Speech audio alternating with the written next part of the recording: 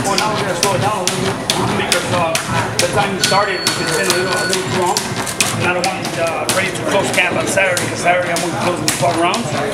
And, uh, just basically monitoring his, his training the whole week. And right now I can see his rest. His rest is helping him, you know, recover. And he's explosive. He's very sharp. Um, I was reading an article about heart.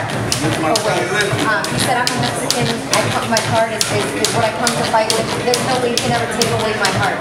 Um, was that something you said or that, or that said?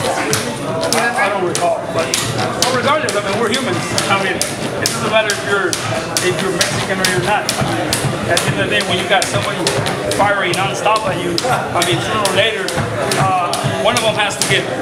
One of them has to give, and that's what you call take your heart away. So in this case, we're gonna see who has more resistance, more stamina, and who's willing to stand there uh, and exchange for 12 rounds.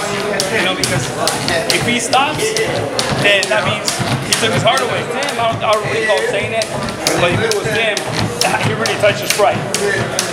Now, you talk about getting there and exchanging for 12 rounds.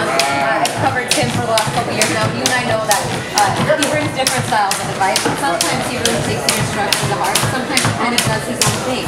Uh, what would you like to see from this fight? A little bit more of the boxing style, like he's able to execute against Marquez, or would you like to see him get in there and bang and mix it up and rough up uh, Jesse Vargas? Well, statistics. The statistics for this fight, basically, we don't have that. We don't have that privilege to look good against Jesse Vargas like we did with Marquez. Because I'm just concerned about